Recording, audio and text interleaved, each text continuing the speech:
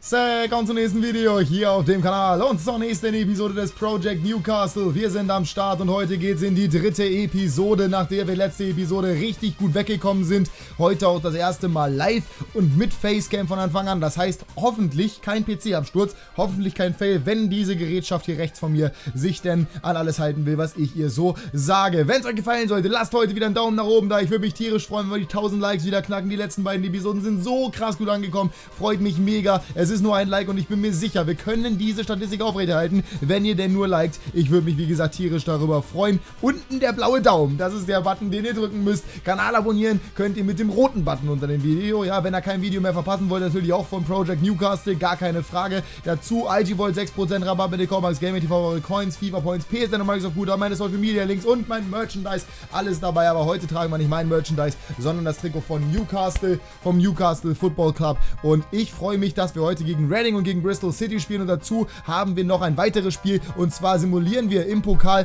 gegen Preston Northern, sind auch in unserer Liga, dementsprechend auch das Spiel wieder relativ interessant. Wir spielen vor allem zu Hause wieder, das heißt wir können auch gut simulieren. Die Frage ist, ob es funktionieren wird, aber das werden wir sehen. Wir werden auch nur bis zum Transfer Deadline Day gehen, weil es kann ja sein, dass wir heute noch eine Challenge erfüllen oder so, beziehungsweise wir haben ja noch einen Transfer. Kann ja sein, dass ihr sagt, Max, hol noch einen Jugendspieler direkt hoch. Das können wir natürlich auch in der regulären Saison machen, wenn keine Transferphase ist. Oder ihr sagt, Max, hol doch noch einen von mit Argentinien, weil du sonst keinen verpflichten darfst, weil du sonst keine Challenges erfüllt hast. Kann sein, aber wir werden sehen, vielleicht macht er einen Hattrick oder wir äh, mal holen uns einen Kantersieg oder sonst was in der Richtung. Ich bin mehr als gespannt. Titel werden wir wohl nicht holen, aber das ist auch erstmal nicht so wichtig. Wir haben noch ein paar Sachen, die ich ansprechen möchte. Und zwar zum einen, ja, Max hat die Matt Ritchie Gedächtnisfrisur, das ist absolut richtig, aber Matt Ritchie ist einfach ein cooler Typ und einer unserer besten Spieler, von daher ist das nicht so traurig. Ihr habt Anregungen gemacht und zwar möchtet ihr ganz gerne bei den Matchscreens vorher noch die drei besten Spieler, die jemals bei, oder die drei bekanntesten Spieler, die jemals bei dem Club gespielt haben, aufgezählt haben. Das ist überhaupt kein Problem. Lazar kommt übrigens nicht aus Herenveen oder Alkmaar, er kommt von Palermo. Ich hatte an Ziyech gedacht und deswegen an die Ehredevise.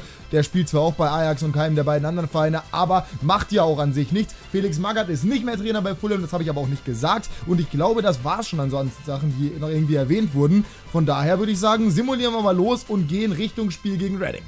Wir haben ein Transferangebot für John Joe Shelby, aber das werden wir natürlich nicht annehmen, auch wenn es von Aston Villa, gerade weil es von Aston Villa kommt, nicht. Die sind ja in unserer Liga, dementsprechend wäre es total dämlich, den abzugeben. Aber allgemein auch, weil er unser stärkster Spieler, glaube ich, vom Rating ist, mit 78. Es gibt doch noch zwei Sachen, die ich erwähnen möchte. Und zwar zum einen habt ihr gesagt, Max, stell doch eventuell die Spielschwierigkeit ein bisschen höher oder mach irgendwie Schussgenauigkeit bei dir runter, wenn du weiterhin die Gegner so zerstörst. Aber da gibt es einen ganz wichtigen Faktor. Wenn das in der Premier League so laufen würde, würde ich das machen, aber wir sind in der zweiten englischen Liga und wir spielen mit Newcastle. Das ist ein sehr, sehr guter Club, der normalerweise die Liga im Schlaf zerstören müsste und das auch teilweise in Realität tut. Und weil wir hier richtig zerstören wollen, diesen Project Newcastle und Newcastle zum krassesten Club der Geschichte machen wollen, werden wir dementsprechend natürlich auch zerstören, wenn es geht. Ne, ist ganz klar. Wir haben bisher übrigens nur einen Spieler mit einem Tor und dementsprechend, äh, also nur Spieler mit einem Tor, das soll sich heute natürlich ändern und zwar mit unserer Startaufstellung.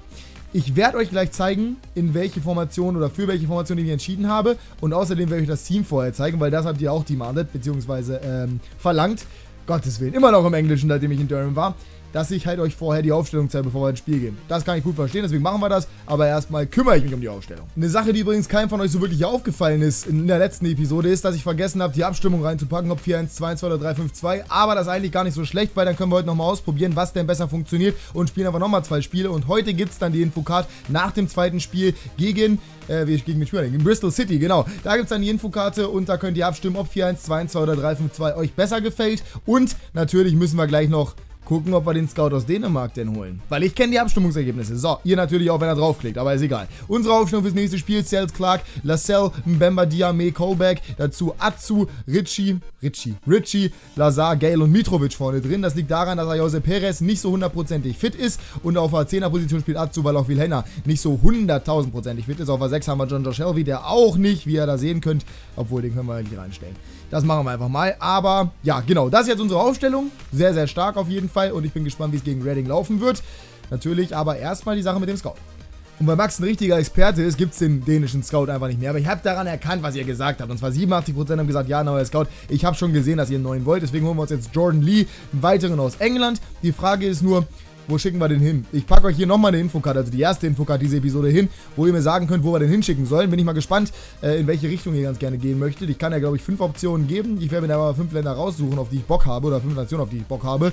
Und dann schauen wir mal, was dabei rumkommt. Was ich auch noch sagen möchte, ist, ihr könnt aufhören, Spielervorschläge in die Kommentare zu schreiben. Wir können die nicht kaufen. Wir hatten nur einen Transfer, weil wir sollten einen zentralen Mittelfeldspieler holen. Das haben wir gemacht. Das heißt, jetzt können wir nichts mehr Neues holen, außer die Spieler, die wir in Packs ziehen. Oder, und das dürft ihr nicht vergessen, wenn ihr da Bock drauf habt, Schreibt es in die Kommentare und liked den Kommentar hoch. Wir können theoretisch, wir brauchen sie in meinen Augen nicht, aber wir könnten theoretisch den Transfer auch dafür verwenden, wenn wir ihn nicht mehr in die Winterpause nehmen wollen, was auch okay wäre, einen Spieler von der Laie zurückzuholen. Würde ich aber ganz ehrlich nur im absoluten Notfall machen, ja, wenn sich einer verletzt oder sowas. Und nicht in der regulären Transferphase. Weil das ergibt, finde ich, keinen Sinn, weil wir die Spieler jetzt im Sommer meistens verliehen haben. Nur als grobe Information. Aber jetzt schauen wir uns mal ein bisschen genauer den FC Reading an. Ehemaliges Premier League Team, die sind glaube ich 2012 in die zweite Liga abgestiegen und das Schöne bei denen ist, die haben noch nie irgendeinen Erfolg gehabt. Das ist ein bisschen traurig, ehrlich gesagt. Aber so läuft das halt in Reading. Die sind nicht sonderlich erfolgreich in ihrer Fußballgeschichte. Haben aber eigentlich ein recht schönes Stadion. Das Madejski Stadion hat 24.161 Plätze. Ja, ist also gar nicht mal so klein der Pot, obwohl in England halt alle Stadien relativ groß sind. Der Trainer, das ist der Fun Fact, ist Jab Starm. Kennt man eventuell, war ehemaliger niederländischer Nationalspieler, ein absolutes Monster in der Defensive und vor allem sehr aggressiver Typ. Bin ich sehr gespannt, ob gleich Reading auch so aggressiv auftreten wird wie er er ehemals. Top-Transfers bei Reading, einmal Thiago Iori, könnte man kennen, kommt ursprünglich vom FC Liverpool, der ist für 4,3 Millionen zu Reading gewechselt und dazu haben wir noch einen ehemaligen Bundesligaspieler und zwar Roy Behrens und Roy Behrens, der Kollege, ist für eine Million von Hertha zu Reading gewechselt. Ja, der hat sich aber Hertha nicht so wirklich durchsetzen können in der Bundesliga und ist jetzt eben in der zweiten englischen Liga angekommen, wo Reading momentan auf Tabellenplatz Nummer 5 steht. Letzte Saison war es noch ein bisschen schlechter, da war es am Ende nur Tabellenplatz 17. Also so stark sind sie an sich nicht, aber unterschätzen dürfen wir sie natürlich natürlich trotzdem nicht. Großartige Spieler hatten die auch nie. Momentan haben sie ein paar ganz gute. Beispielsweise Louis Graben, der spielt eigentlich bei Bournemouth, beziehungsweise kommt von Bournemouth. Jordan Obita könnte man auch können. Oder Danny Williams, ehemaliger Hoffenheimer. Das sind so die paar, die man kennen kann. Aus der Vergangenheit haben wir da beispielsweise Shane Long, momentan für den FC Southampton aktiv. Und auf der anderen Seite noch Gilfie Sigurdsson, mittlerweile bei ähm, ja, Swansea City. Das wäre so der beste Spieler, den wir jemals hatten, wenn man auf das guckt, was er jetzt momentan leistet. Aber wie gesagt, das ist so relativiert, weil irgendwie ist Reading nicht so der allerkrasseste Club, obwohl sie 1871 gegründet wurden. Naja, die Lage übrigens noch, vielleicht ganz interessant für einige von euch, habe ich gesagt, dass ich mal erwähnen werde, die sind ungefähr eine halbe Stunde mit der Metro bzw. mit der Bahn von London entfernt und zwar in westlicher Richtung. Das heißt noch ein bisschen weiter im Zentrum von England und Richtung Südküste. Wenn man jetzt komplett England betrachtet. Nicht so nördlich wie Newcastle, nicht so mittig wie keine Ahnung, was da so liegt. Birmingham vielleicht. Ich habe keine Ahnung. Aber halt auch nicht so südlich wie Southampton, sondern so zwischen Birmingham und Southampton. Andere Geschichte. Wir gehen ins Spiel rein. Ich wünsche euch viel Spaß. Hoffentlich Zagstücke mal so. Zwei souveräne Siege in den ersten beiden Spielen. Projekt Aufstieg für Newcastle momentan in greifbarer Nähe. So zumindest die Aussage bzw. das Gefühl der Spieler vor der Partie gegen den FC Reading. Der ehemalige Premier League Teilnehmer, heute also Gegner in der Championship. Und MGT erwartete, dass seine Mannschaft hier ein absolutes Fußballfeuerwerk abbrennen sollte. Das taten sie auch in der Anfangsphase. Allerdings verhindert oft von Al-Habsi, dem Keeper des FC Reading. Die Fans waren schon ein bisschen ja, gelangweilt fast, denn Newcastle wollte das Tor nicht treffen. Al-Habsi verhinderte eine Chance nach der anderen und dann kam plötzlich der FC Reading nach vorne. Ball auf die Außenbahn, da steht Rawls, der in die Mitte auf Vandenberg. 1 zu 0 für Reading. 30 Minuten ungefähr durch und plötzlich führten die Gäste in St. James's Park und das vollkommen aus dem Nichts die erste auch nur ansatzweise Chance für die blau-weiß gekleideten Männer aus Reading und direkt der Führungstreffer. Allerdings wollte Newcastle das natürlich nicht auf sich sitzen lassen, machte weiter mit Mitrovic. Der Serbe mit der Gelegenheit, aber am Tor vorbei. Al-Habsi muss hier nicht eingreifen, aber der sollte noch sein Fett wegbekommen und einiges zu tun haben gegen Newcastle United. Gerade im zweiten Durchgang sollte es ein Spiel auf ein Tor sein und vor vor allem auf das, ja, beziehungsweise ein Duell zwischen Al-Habsi und der Offensive des NUFC. Erste Gelegenheit für Lazar, 49. Minute, klasse Parade von Al-Habsi und es ging genau so weiter. Die anschließende Ecke, die Flanke auf den Kopf von Mitrovic, Al-Habsi und dann die Defensive. Ja, die agiert da perfekt und hilft ihrem Keeper aus und verhindert so, dass Dwight Gay hier sein zweites Saisontor macht. Auf der Linie geklärt durch die Beine von Al-Habsi, aber dann abgewehrt. Weiter John Joe Shelby, wieder Al-Habsi. Niemand kam an ihm heute vorbei und es ging genauso weiter. Sierra Clark auf Dwight Gale kriegt glücklich nochmal den Ball und wieder ist Al-Habsi da. 55 Minuten durch und Newcastle hatte Chancen für drei Spieler, aber Al-Habsi vereitelte sie alle und das ohne irgendwie mit der Wimper zu zucken. Wieder Lazar, der ein gutes Spiel machte. Auf Vilhena das erste Mal, dass Al-Habsi nicht eingreifen muss nach 75 Minuten, aber von Newcastle kam jetzt einfach nur noch wilde Offensive der eingewechselte Murphy mit der Riesenchance und wieder ist Al-Habsi da und verhindert den Ausgleichstreffer des Iren. Was für eine Gelegenheit, den macht er normalerweise im Schlaf, aber heute Al-Habsi einfach unbezwingbar. Iori stört Murphy dann noch entscheidend beim Abschluss und dementsprechend trennt sich Newcastle mit 0 zu 1 vom FC Reading, fährt die erste Niederlage ein in der zweiten englischen Liga und hat damit zumindest einen minimalen Dämpfer im Projektaufstieg gehalten. Sie waren das deutlich bessere Team heute hier im St. James's Park, aber so ist die Championship und dementsprechend verliert Newcastle dank dem Man of the Match Joey Vandenberg und Al-Habsi mit 0 zu 1.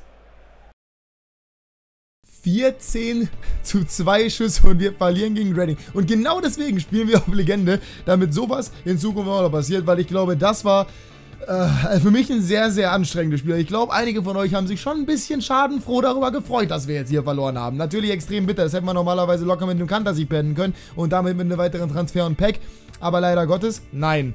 Ja, was willst du machen? Im Endeffekt haben wir jetzt ein monatliches Scouting-Update, das erste überhaupt. Und da haben wir schon mal Henry Mason, der sehr, sehr stark aussieht und den wir direkt mal verpflichten. Das dürfen wir machen, wir dürfen ihn nur nicht hochholen in die Profimannschaft, für alle die, die es noch nicht verstanden haben, beziehungsweise noch immer am Zweifeln sind. Marcus Roberts beobachten wir mal und der Rest war jetzt hier nicht so stark. Spieler verletzt, das ist Atsu und der fällt drei Wochen aus. Das ist nicht so schön, aber damit können wir leben, weil Stammspieler ist er, wenn Villena da ist, normalerweise ja sowieso. So, aber damit kommen wir auch direkt zum nächsten Spiel, lassen uns gar nicht beirren von der momentanen Tabellensituation Situation, in der wir Sechster sind, jetzt sogar hinter Reading einen Punkt, sondern spielen gegen Bristol City.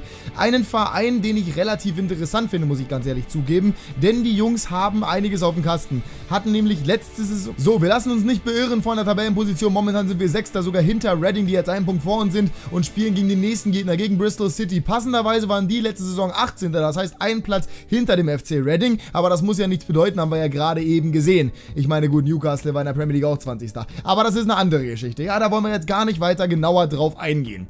Top-Transfers. Zunächst einmal Lee Tomlin geholt von Bournemouth. Sehr, sehr ähnlich irgendwie zu Reading, die ja Louis Graben von Bournemouth geholt haben. Ich weiß nicht, was ich davon halten soll, aber ist auch egal. Darum geht es jetzt nicht. Anderer Top-Transfer, nicht so teuer gewesen, aber man kennt ihn, deswegen habe ich ihn damit reingenommen. Genauso wie Roy Behrens von der Hertha, Jens Hegeler von der Hertha. Also irgendwie, ich habe, also ich weiß nicht. Irgendwas ist da komisch. Ashton Gate ist das Stadion, also heißt das Stadion Ashton Gate Stadium, hat 27.000 Plätze. Das ist ordentlich auf jeden Fall für einen Verein, der nicht so groß ist. 1897 übrigens gegründet, ein Jahr nach Hannover 96. Sehr, sehr schön. Allerdings, äh, auch das muss halt wieder überhaupt nichts heißen. Ja, muss man ja ganz ehrlich mal sagen. Dazu die Lage einmal von Bristol, die liegen ungefähr bei Wales. Sehr, sehr weit westlich in England. Nicht so westlich wie Plymouth. Wer weiß, wie England aufgeteilt ist. Es gibt, ich glaube in eurer Perspektive, hier eine kleine Insel westlich und darunter. Darunter ist Plymouth und so und in diesem Knick quasi drin, da liegt Bristol. Ist also irgendwo im Nirgendwo, kann man zumindest so sagen. Größter Erfolg ist schon ein bisschen traurig. Äh, FA Cup Finale 1909 gegen Manchester United verloren. Äh, ja, das ist halt Bristol, ist ein kleiner Verein. Ja, ehemalige Spieler, ne, gibt's nicht. Also es ist zumindest nichts dabei, wo man sagen müsste, boah, den kennt man. Äh, vielleicht Connor Maynard, ehemals Cardiff City, ich glaube auch bei West Ham hat er mal gespielt, mittlerweile bei Milton Keys Dons. Also irgendwie Bristol nicht so der absolute Metropolenclub, was die ehemaligen Spieler angeht. Aber Fabian Giefer kennt man eventuell, der spielt da ehemaliger Schalker und es spielt da auch noch ein weiterer sehr vielversprechender Spieler und das ist auch der Fun-Fact gleichzeitig, nämlich den Jungen, den ich zu Manchester City im Karrieremodus geholt habe. Ein sehr, sehr großes Stürmertalent aus England, Tammy Abraham. Ob der noch lange da bleibt, ist die große Frage, aber auf den müssen wir auf jeden Fall aufpassen, weil wir jetzt gegen Bristol spielen und das wird unsere Aufgabe. Ich wünsche euch viel Spaß, hoffentlich diesmal einen Sieg. Bis gleich. Unsere Aufstellung vor dem Spiel gegen Bristol ändert sich marginal. Perez geht in den Sturm und zwar für Geld, der nicht ganz fit ist. Vilhena kommt auf die 10 für den verletzten Natsu und auf der 6 spielt Anita für John Josh Shelby, der auch nicht ganz fit ist. Also nichts großartig Verändertes gegen Bristol. Nach der Niederlage gegen den FC Reading heute wieder Gutmachung angesagt. Für Newcastle zu Gast bei Bristol City. Kapitän Jack Holbeck führt den Tabellen 6. auf den Platz. Bristol momentan Tabellen 15. aber nur zwei Punkte hinter Newcastle. Das heißt, mit einem Sieg würden sie an den Elstern vorbeiziehen. Der Serbe Mitrovic stand wieder in der Startelf für geballte Offensivkraft und die versucht ja Jose Perez gleich mal in die Tat umzusetzen bzw. aufs Papier zu bringen. Erste schöne Gelegenheit des Spaniers. Newcastle genauso wie zuletzt gegen Reading mit voller Offensive und mit vielen Chancen hier noch nicht genutzt zum Ärger von MGT. Aber es geht weiter in der 25. Minute. Wieder Perez, wunderbarer Seitfallzieher, aber klasse dazwischen gesprungen vom ehemaligen Hertaner von Jens Hegeler, der hier das 0 zu 1 aus Sicht von Bristol City verhindert, sodass Fabian Giefer, der Ex-Schalker, nicht eingreifen muss. Zwei Deutsche also in der Startelf gegen den deutschen Trainer. Auf der anderen Seite Sharon Clark mit der dicken Gelegenheit direkt im anschließenden Eckball, aber er setzt den Kopfball knapp übers Tor der Ire. Noch ohne Treffer für seinen neuen Arbeitgeber kam er vor der Saison von Aston Villa zum Premier League Absteiger und ärgert sich hier über die vergebene Chance. Weiter geht's über Mitrovic. Anita mit dem Ball auf Wilhenna und dann sitzt tatsächlich mal einer nach Spielzeit der ersten Halbzeit und so kann man doch mal sein erstes Tor für seinen neuen Arbeitgeber schießen. Tony Wilhenna mit seinem ersten Tor für Newcastle United und das können wir uns gerne nochmal in der Wiederholung angucken. Absoluter Strich in die linke Ecke. Giefer kann da absolut nichts machen und dementsprechend die auch verdiente Führung für Newcastle, denn die waren das Team, das hier eindeutig mehr ins Spiel reinbrachte und eigentlich auch das einzige Team mit Chancen. Jetzt Bristol City, total verunsichert. Mitrovic mit der Balleroberung im gegnerischen 16er. Josep Perez ist da und jetzt trifft er tatsächlich zum 2 zu 0. 50. Minute und plötzlich war Bristol City ganz, ganz schlecht, was die Ausgangssituation angeht. Ganz bitterer Ballverlust von Hegeler und dann Perez eiskalt vor dem Kasten mit Hilfe des Pfostens. Doch wer glaubt, dass das die Entscheidung war, fehlt, falsch gedacht. Plötzlich kam Richtig, Bristol nach vorne. Allerdings die Chance hier von O'Dowda vergeben. Matzels kann den Ball halten. Auf der anderen Seite Anita. Und Giefer war noch dran. Sonst wäre der Ball des Niederländers vielleicht eingeschlagen und es wäre das zweite Traumtor eines niederländischen Mittelfeldspielers in dieser Partie gewesen. Aber der Sechser wird hier ja verhindert oder denied von Fabian Giefer. Es ging jedoch weiter und zwar mit Jens Hegeler und dieser dummen Aktion im 16er. Vollkommen zu Recht der Elfmeter, 72. Minute und somit natürlich die dicke Chance für Newcastle hier vollkommen zu Recht die Entscheidung und das 3 zu 0 herbeizuführen. Perez mit der Gelegenheit auf seinen Doppelback und der Spanier ist eiskalt, wunderbar in die linke obere Torecke. Giefer chancenlos, bleibt in der Mitte stehen und somit die endgültige Entscheidung in Bristol im Westen Englands. Allerdings gaben die sich nicht auf, sondern kamen plötzlich angestachelt von diesem Ergebnis nach vorne. Marcel sieht gar nicht gut aus und da ist zumindest Ergebniskosmetik.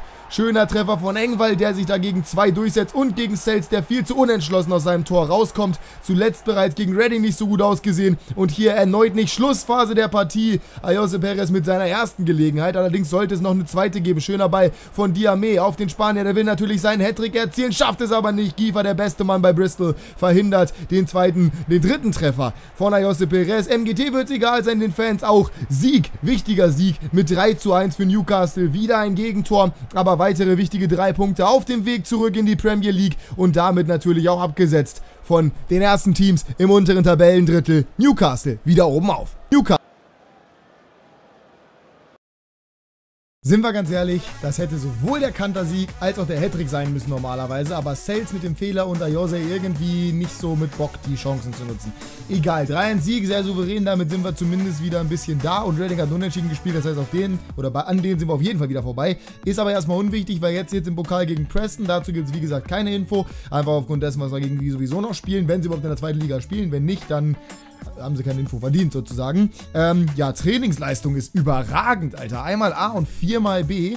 Aarons steigt doch auf 73, der hat ja gerade ersatzweise gespielt. Wird jetzt wohl von Anfang an spielen, aber die 11 seht ihr gleich. Und ich weiß übrigens, ich habe vergessen, 4-1-2-1-2 spielen zu lassen. Aber das mache ich jetzt im Pokal. Vielleicht funktioniert ja auch das. Und John Joe Shelby weckt anscheinend Begehrlichkeiten. Auch der FC Burnley möchte ihn haben, aber nein. Ich muss ja sagen, ich hätte schon gerne ein Pack geöffnet in dieser Episode. Vielleicht holen wir uns ja einen Kantersieg im Pokal. Wir spielen im Moment zu Hause. Das heißt, theoretisch ist es möglich mit dieser Aufstellung. Wobei, da ist noch ein Fehler drin. Und zwar spielt im Pokal nicht Marcel, sondern Karl Darlow. Eigentlich sollte Cells nach den beiden Fehlern gerade sowieso nicht mehr spielen. Defensiv habt ihr gesehen, DeAndre Jetlin. Warte mal, müssen wir auf 4-1-2-1-2 umstellen. Ich bin so eine Pappnase. Aber das macht es irgendwie auch interessant. Jetlin rechts, dann im Bemmer und Clark in der Mitte. Links Lazard, zentral defensiv Shelby. Rechts Diame kann er eigentlich nicht, aber wird schon. Wilhenna auf A10. Dann Aarons links vorne Gale und Murphy, der mal eine Chance bekommt. Hat er gerade auch gegen Redding diese eine Riesenchance vergeben. Die aber ja zugegeben auch nicht mehr ins Gewicht gefallen ist, weil wir ja alles vergeben haben in diesem Spiel. Mal sehen, wie es jetzt gegen Preston läuft. Ich bin gespannt, ist ein Heimspiel, wie gesagt. Normalerweise sollte es kein Problem sein, haben in der Liga gegen QPA 1-1 gespielt, gegen Derby County 2-2, gegen Fulham 2-2. Sind also solide Ergebnisse definitiv und wir spielen noch gegen sie in der Liga, das heißt, sie sind in unserer. Lazar macht nach einer Minute das 1 0. Das spricht normalerweise ja schon mal für Kantersieg. Allerdings kann es auch dafür sprechen, dass wir einfach 1 2 verlieren. Deswegen wollen wir mal nicht zu optimistisch sein und sagen, dass es bestimmt ein knappes Ding wird.